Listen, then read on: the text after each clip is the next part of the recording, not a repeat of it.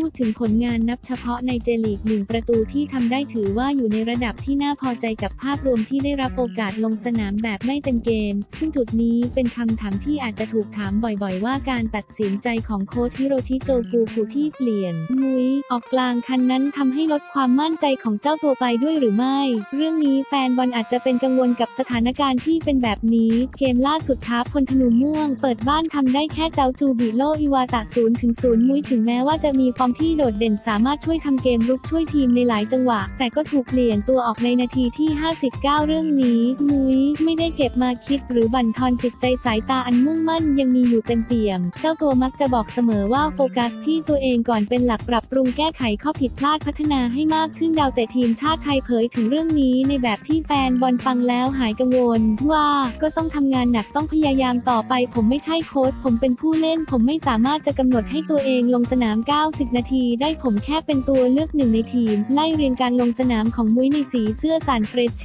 นัดที่ วันที่ 24 กุมภาพันธ์เปิดบ้านชนะคอนซาโดเลซัปโปโร 1-0 ลงเล่น 84 นาที นัดที่ 2 วันที่ 4 มีนาคมบุกชนะอูราวะเรสไดมอนด์ 2-1 ลงเล่น 56 นาที นัดที่ 3 วันที่ 10 มีนาคมบุกชนะคาชิมาแอนท์เลอร์ส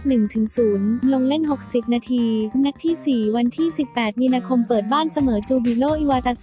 0-0 ลงเล่น 59 นาที กองหน้าเบอร์หนึ่งทีมชาติไทยเปิดใจกับสถานการณ์ที่เกิดขึ้นว่าโค้ชจะใช้หรือเปล่าก็เป็นไปได้ทั้งนั้น ถ้าหากเราไม่พยายามพัฒนาตัวเองบางทีอาจจะไม่ได้เล่นเลย ก็ได้มันเป็นหน้าที่ของโค้ชที่จะเลือกใครลงสนาม ผมแค่เป็นตัวเลือกพยายามทำให้ตัวเองพร้อมที่สุดแค่นั้น ยังคงต้องลุ้นให้เจ้าตัวลงเล่นครบ 90 นาทีให้ได้เชื่อเหลือเกินว่าเวลานั้นใกล้มาถึงแล้วมองในแง่ดีตอนนี้แข้งสายเลือดไทยสามารถยึดเป็นแข้งแกนหลักของทีมได้แล้ว เหลือเพียงจะสามารถชนะใจโค้ชได้รับความไว้วางใจให้ลงบูครบ 90 นาที แค่นั้นตอนนี้คำตอบเดียวคือเจ้าตัวต้องทำงานให้หนักซึ่งได้เห็นจากความมุ่งมั่นแล้ว บอกได้เลยแฟนๆอดใจรออีกนิดเดียวได้เห็นแน่ถูกปรัชญา